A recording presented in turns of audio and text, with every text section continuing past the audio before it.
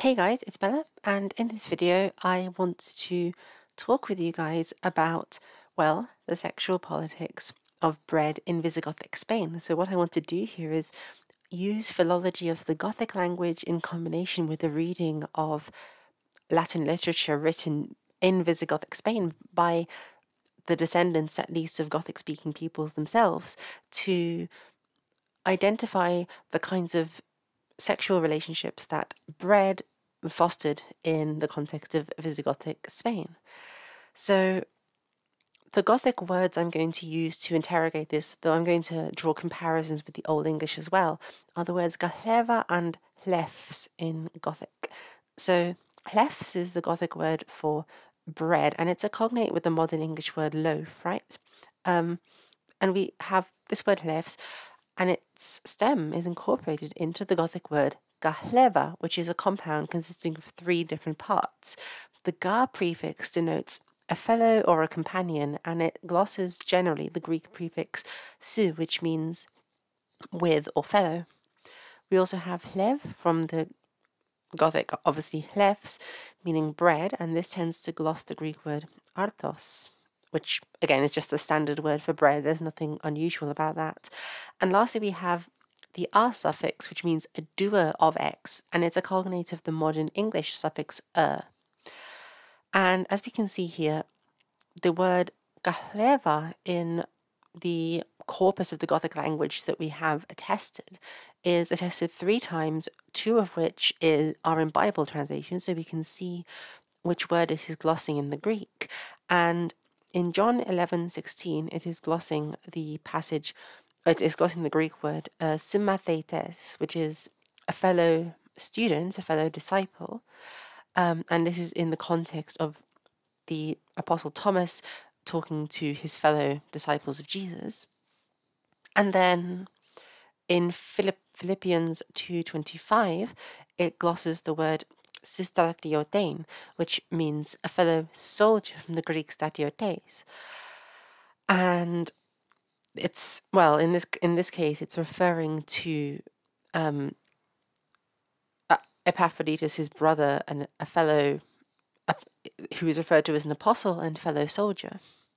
So we also have an attestation of it in the Naples deed, where um, Merila Boccaris, which is the, um, the scribe, he sort of signs this deed um, and agrees to the sale. Uh, with diakona alla moda unterama, with alla modes our deacon, Yachmith Gahlevem, Gahlevem unserem, and with our um, well, companions, we don't have a gloss of the Naples deed. This isn't a direct translation of anything else. Um, in fact, the Naples deed might be the only bit of Gothic literature that we have attested, which is not a direct translation of anything else. Um, that and possibly the Bologna fragment. So it's really interesting, but we can see here that this word gahleva seems to have some kind of meaning of a companion or a fellow student, an equal though to the speaker themselves. And we can see a little bit of the politics of bread playing out in the Skeireins. Now, part of the difficulty with doing philology in the Gothic language is that the texts which we have are almost all translations, and the Skeireins itself, I must admit, in this video, probably is also a translation from Greek. And the fact that the Gothic Bible is a very close translation of the Greek suggests that we can't necessarily draw too strong conclusions about how what a word means and how it's being used in the same way that with Latin, for instance, we can do a search in dictionaries and corpuses and look at various ways that a given word is being used in literature from the time period to see what people meant when they said a given word in Latin. We can't do that for Gothic so much because we just don't have literature that was originally written in Gothic by the Ostrogoths. Um, but one of the few extended pieces which isn't the Bible that we have is the Skeireins, and in in the seventh leaf of the Skeireins that we have surviving, in a section which is discussing the feeding of the multitude as attested in the Gospel of John, we have this line, Nichthan anathem levam ernam, sinezos machtes filius na usteknida, akiach indam them fiscam. which means um, he did not only demonstrate an abundance of his power on sort of in those loaves, them hlevam enem, uh, akiak in them fiskam. So we see, and granted, this is talking about a specific miracle, but we do see an association in the little Gothic, Gothic literature that we have surviving of bread being associated with power and with dominance. But we can draw a comparison also with the philology of other languages such as Old English, because in Old English, the word lavwell, which is the word for Lord, but can also be translated as husband in some contexts, which will be relevant for the sexual connotations we're going to get to in a minute. The word lavwell from which we get our modern word Lord, consists of two elements. It's got lav, meaning loaf, which is obviously a cognate of the Gothic lefs, which we discussed earlier, and werd, which is guardian, and then that's a cognate itself of the Gothic guards. We also have a sort of antonym of this, which is the Old English word lafata, which is a servant, and it literally means a loaf eater, laf and ata. So we can see here this um, metaphor that's being set up in early medieval England, where a the person who guards the bread has dominance over a family, and the person who eats the bread, which presumably is given only at the will of the Lord, is subordinate to that person. And we're going to get into looking at the implication or what we can see of the Gothic word gahleva, the sort of influence of that sense that bread can form uh, commutative relationships between men and also can serve as a resource by which men exert emotional, sorry, economic and sexual dominance over subordinates within their family. We're going to look at the influence of that con, the way of thinking rather, in Latin literature from Visigothic Spain. But first, we need to establish the question, which is a very legitimate one, of whether the Visigoths themselves spoke the Gothic language and whether they read it. Um, because there are actually very, very few references in the historical literature to the Visigoths speaking the Gothic language in quotidian situations. Patrick Amory talks about uh, the state of the Gothic language in Ostrogothic Italy.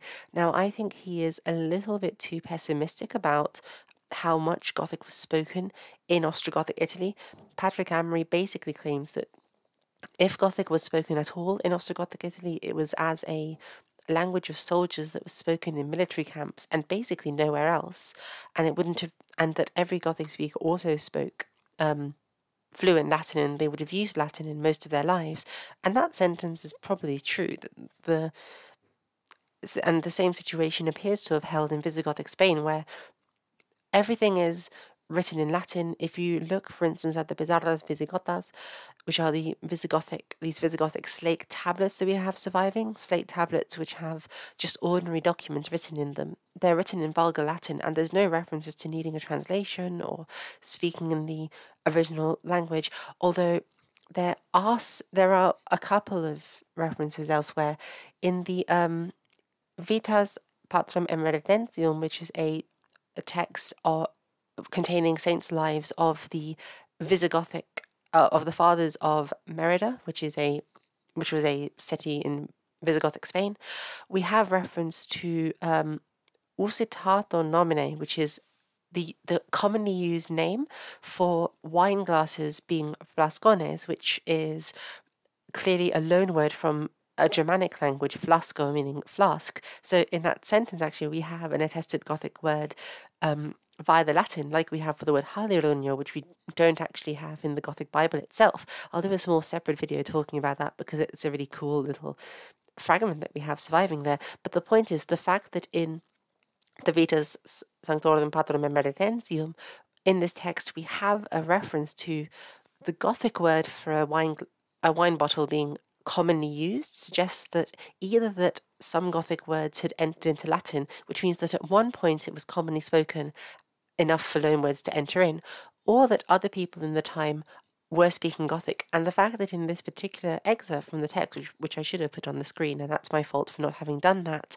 but in this particular excerpt from the Vita Sanctorum Patrum Emeretensium, we have the, it, it says either flascones is the word for these wine glasses or wine bottles, or they have the word uh, gilones, which is the Latin word for it. So this suggests that there's a Latin way of referring to things in the time period of Visigothic Spain, and there's a Gothic way of referring to things in the time period of Visigothic Spain.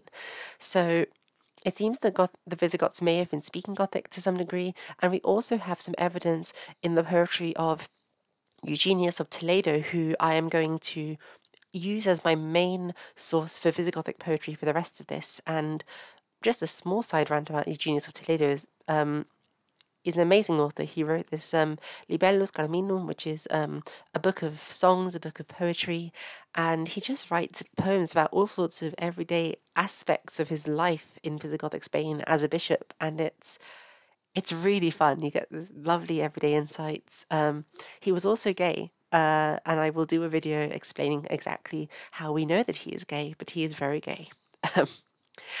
and one of his poems is poem number 39 on the inventors of letters.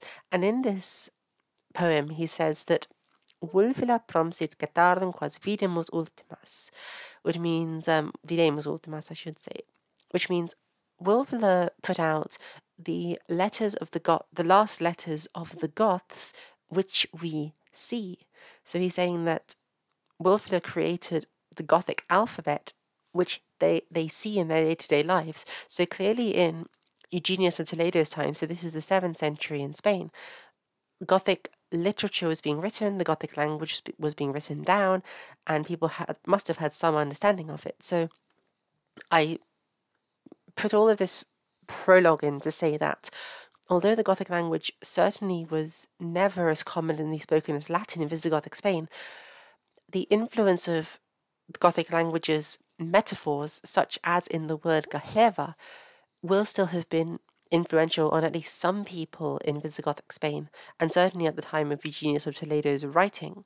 So there is reason to look into the kinds of metaphors that the Gothic language is drawing in regards to bread, and we're going to do that now by reading through some of Eugenius of Toledo's proverbs and distichs. Now, I call these poems in my videos and other places the quote unquote Visigothic poems, sorry, the Visigothic proverbs. And one of the reasons is that they are simply called proverbia in the manuscripts which contain this. Eugenius doesn't claim that he invented these or that they're his own, and many of them actually just sound like generic idioms and sayings that some of which are even very familiar to us today.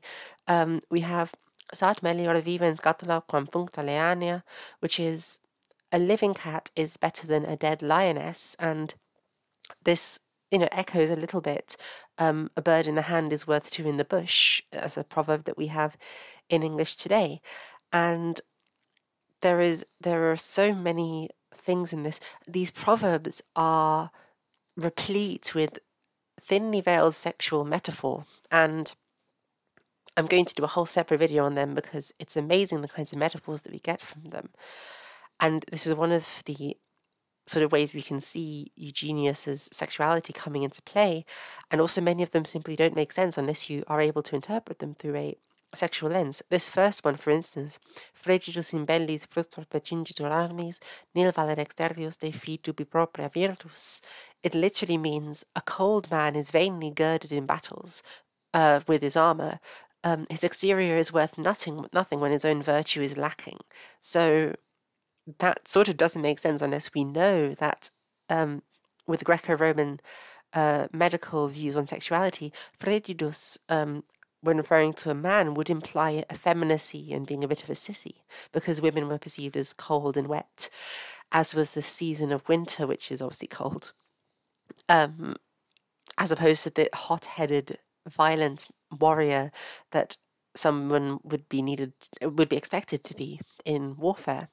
So we can see sexual metaphors in all of these proverbs, and I'm going to focus on two in particular which pertain to uh, bread. And these are this one here, which is 86 and 85. So let's go on to look at them. The my essential argument in this whole thing is that a is that bread or ownership of bread is something which the head of the family, the Gardawaldans, to use the Gothic word for this, um, does, and he uses the fact that he is able to go out into society and with his fellow men, that's the gahleva part, gain possession of bread. He's gain uses the fact that he is able to do these things to feed his family, which includes non-related people. Um, at least the Latin word familiar includes non-related people such as slaves. He feeds those people, and because he is the person who provides their food, those people are economically dependent on him.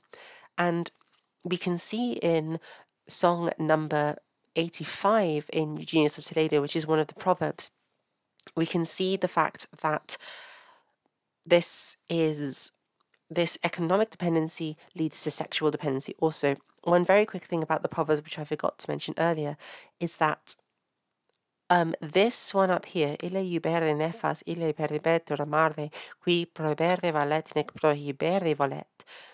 This is also attested outside of Eugenius of Toledo. It is attested in uh, Julian of Toledo's, um, I believe it's the, well, it's one of his, either one of his saints' lives or it's the um, story of King Wamba. And he said this, he just introduces this uh, proverb as as is commonly said, as is generally said. So this suggests that these poems were not invented by Eugenius of Toledo, but they were common Visigothic sayings, um, which is you can totally tell from how they sound as well. They sound like proverbs that we would say today, but these are commonly repeated Visigothic proverbs which seem to have circulated outside of Eugenius of Toledo's own writing, and therefore we can use them to gain insight into how Visigothic people were thinking about their own culture.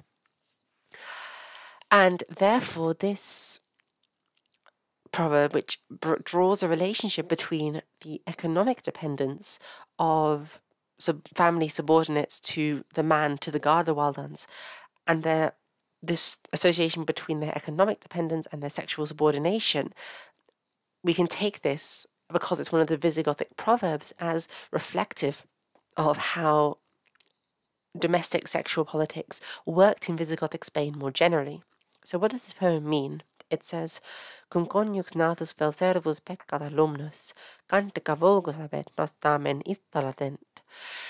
Which means, when a wife, a child, and yes, this is child, natus, it's unfortunate, but they were less concerned about paedophilia back then. Vel servus peccat alumnus, or a well fed slave sins, peccat. Now, peccare um, is the word referring to sin here, and in sexual contexts, it refers to um, passive homosexual uh, act- or just passive sexual activity, and that's why um, the wife sins because because she lacks a penis, she cannot penetrate, and therefore all sex um, that she engages in is her sinning. Uh, Natus, a sort of boy, likewise, um, physically is unable to penetrate and therefore um, sins when, well, we would say that the child is raped.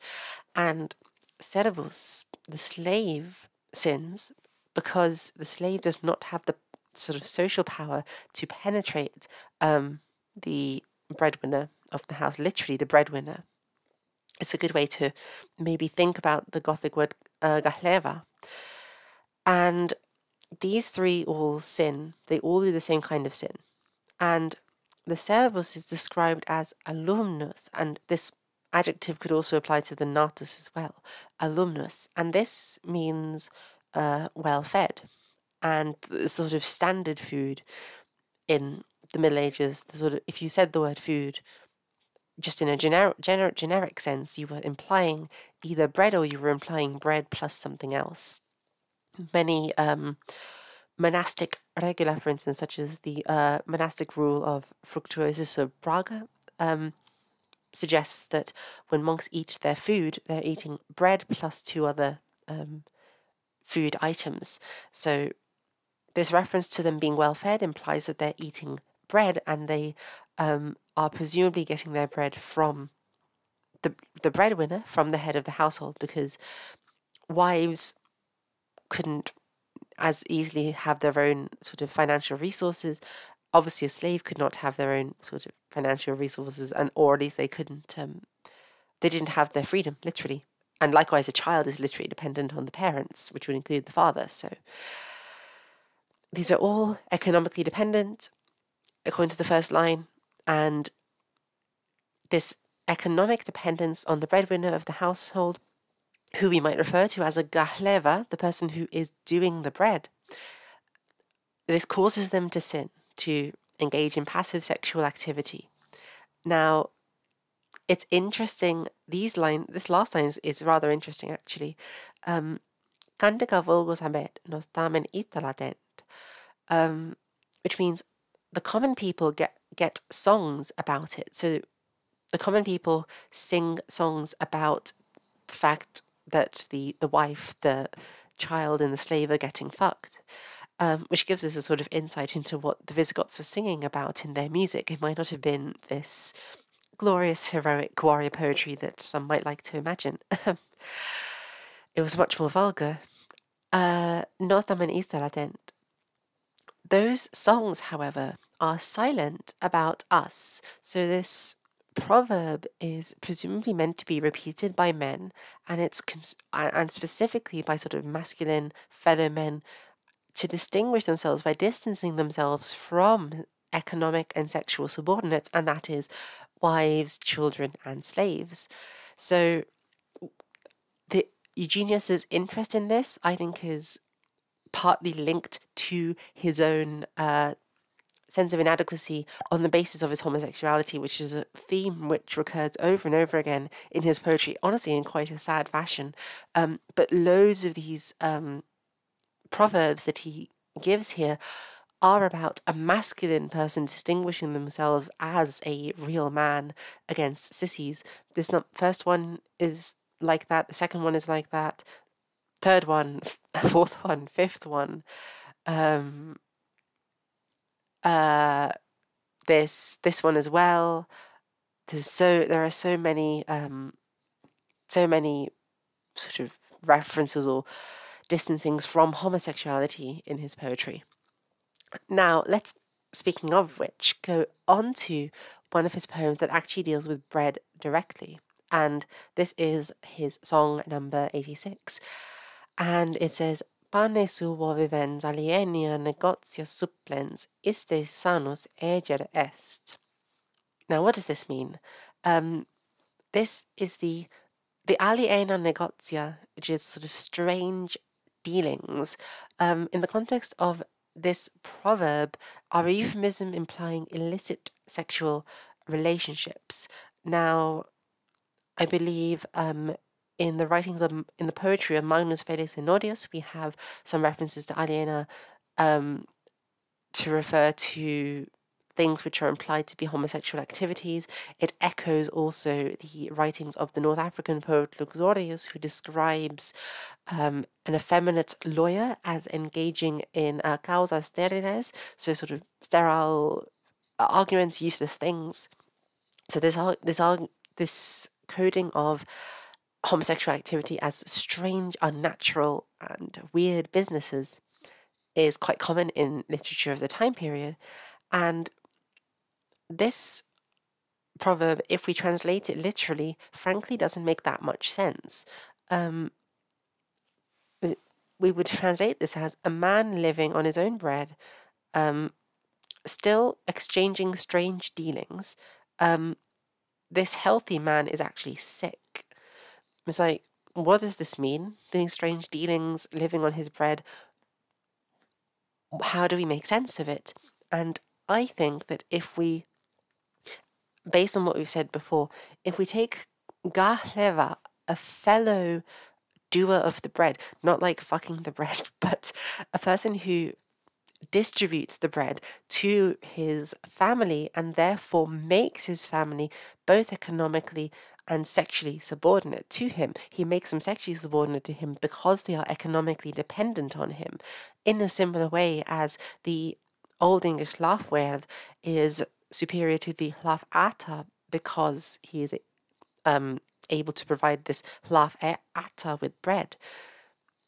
Likewise, I think this poem is implying that a fellow bread doer who is able to provide bread for himself should not be engaging in aliena negotia, strange dealings, which arguably is implying homosexual sexual activity in the same way that um, the sin of the previous proverb refers to uh, passive sexual activity. The image that's being set up here is that it's it's normal and it's healthy for somebody who is economically dependent for a man I should say who is economically dependent on another to engage in passive homosexual activity. That is a sort of standard part of life. But a gahleva, a, a, a sort of man who is able to provide his own bread, who is still doing that anyway, could only be engaging in passive homosexual activity out of some kind of mental illness. This is egerest. And this association with mental illness, we can actually see it written into Visigothic law, and this is going to be the last text on which I end the video. This is a law um, by Flavius Ginaswinthus Rex, um, King Chindaswinth of the of the Visigoths, concerning um, male goodness, concerning male crimes or disgraces, and this is essentially a law which is outlawing homosexuality, and it draws an explicit link between um, not only between homosexuality and mental illness, but it also exempts those who do so against their will, and this would include obviously um, slaves. So In this line here, hoc interim ordendum dedecus, si in perdensquisque vel patiens non voluntarius sed invitus explesse dinoscitur, unc areatu poterit immunis averi, si nefandi uius generis ipse dedector exiterit. So, oh, and ille procul dubio denendus est ad pennam, quem menac sponte devolutum constat insaniam. So, this sentence shows us th- this explicit link. It says, um, however, this horrible disgrace, um, if the person who is inferens vel patiens, so inferens, Im, the implication is topping, bearing in, vel patiens, or suffering, because um, in Latin literature, um, essentially taking dick is perceived as suffering. And this goes back to the Roman poet Martial, who described passive homosexual activity as muliebria parti, which means to suffer womanly things. So the patiens, the one who is suffering, uh, is the, the bottom in this context. Um, so the top or the bottom, um, non voluntarius, um, not of his own will, said invitus, but unwillingly, explesse dinoscitur, tuncareatu paterit immunis averi, um, then he can be held as immune um, by the sort of by the court, by the prosecutor. So a person who is engaging in homosexual activity against his will, which is what slaves and, you know, certainly children, the economic dependence are doing it against their will because they're being exploited, because they have no choice but to engage in this activity, they are exempt from it. Um,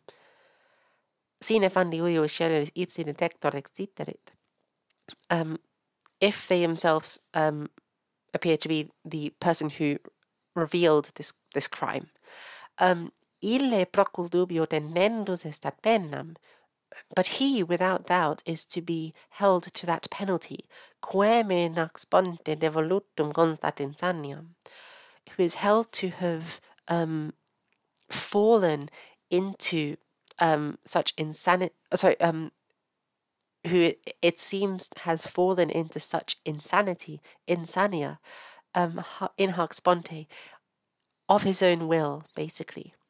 And so this is essentially echoing the same sentiment that we see in Eugenius of Toledo's Visigothic proverbs that a a gahleva, a man who is able to provide for himself, who um who what's the word gives in to such sexual proclivities is insane, is mentally unwell, basically. So,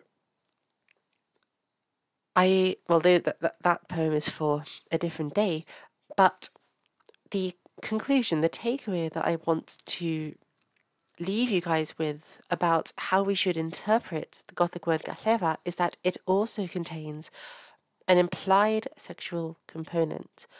My view, which I hope I've gotten across in this video, is that when we read the Gothic word gahleva, or we rather when we read Visigothic literature um, written in Latin pertaining to bread but also to sexual politics, in conjunction with an etymological breakdown of the Gothic word gahleva, we can see how for the Visigoths, bread was a mediator of sexual relationships. Bread was a resource that masculine men, masculine warrior men, went out and with their fellow men, with their fellow warriors, their synstatiotes, as they would say in Greek, with their fellow warriors, these with their fellow men, these Visigothic warriors obtained bread, they obtained the lefts, which they brought home and could distribute to their families who were economically dependent on literally the breadwinner. And that economic dependence led them to be sexually dependent or sexually subordinate, I should say, to the breadwinner, to the gahleva. And this uh, metaphor for bread mediating certain kinds of sexual relationships in honestly an acceptable manner was written into Visigothic culture in the form of Visigothic proverbs and later got inscribed into Visigothic law to a lesser extent as well, although in the Visigothic law code the there is no explicit reference to the use of bread, but there is still reference to the use to the um, idea of uh, a, a, a sort of provider still engaging in such sexual activity um, only doing so out of mental illness, and there is also a reference to economic dependence engaging in homosexual activity being exempt from penalty and not regarded as insane. So essentially, in Visigothic Spain, taking bread from another man is in fact gay. So I hope you guys have enjoyed this video, and I also really hope that the point I was trying to get across has actually gotten across with this. I know it's a really um, complicated argument. This argument that uh, breadwinners of Visigothic households used their provision of bread to the families to sexually subordinate them, including uh, including male slaves, and that this therefore could be used in certain contexts as a metaphor to describe homosexual activity, like in this proverb about a man living on his bread but still doing weird things. The fact that he's living on his own bread but still engaging in homosexual activity like a dependent is what demonstrates his um, insanity, as the law says that homosexuals are indeed insane. I hope that that relatively complex um, argument has gotten through and it shows some of the benefits of studying the Gothic language because it helps us to understand Visigothic literature even better.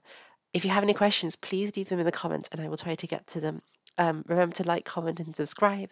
And if you want me to teach you Latin or Gothic or any, uh, well, Old English, I guess, as well, you can subscribe to my Patreon, which will also be linked in the description. And also uh, join my Discord server if you want to for a fun community of people who are interested in history and politics and all other kinds of fun things. So thank you guys so much for watching and I will see you guys later. Bye.